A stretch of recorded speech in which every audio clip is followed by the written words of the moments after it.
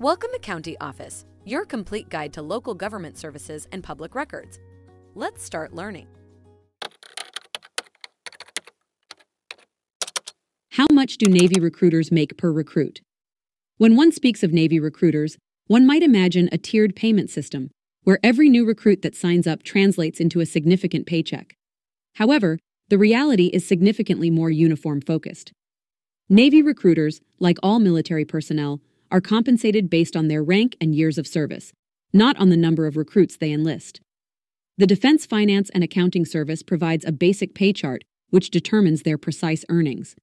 Believe it or not, recruiting is considered a special duty assignment within the Navy, not a separate career.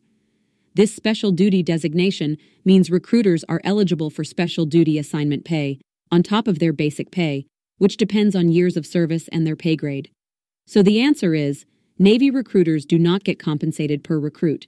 Their pay is strictly based on their military rank, years of service, and additional pay they may receive for taking on the special duty of recruiting.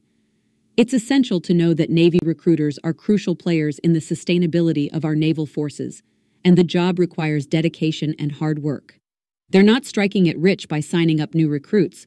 Their ultimate reward is supporting their country and ensuring the future of our military. Take a look at the links in the description below to learn more. If you have any questions or want to share your thoughts, leave a comment. We're here to help. Thanks for watching our video. Be sure to like, subscribe, and leave a comment below. We'll see you in our next video.